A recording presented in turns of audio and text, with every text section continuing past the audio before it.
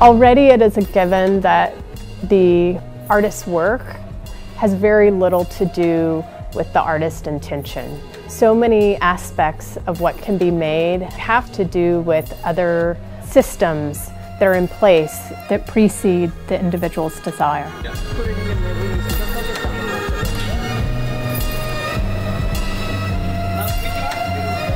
One more black test, and then Trino can see it. Kathryn really hard at work.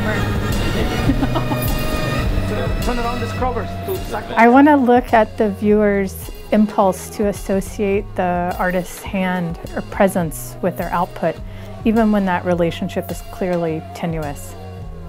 So one of the things I've done a lot is allow um, other people to have a heavy hand in my work in ways that are more pronounced.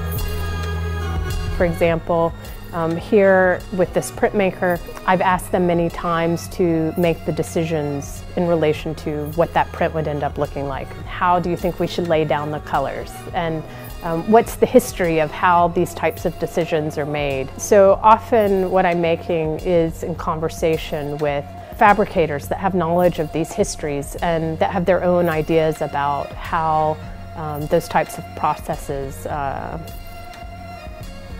signify. Did it! Looks You know sick, what? man. But it takes a lot of time to do Looks something like that. amazing.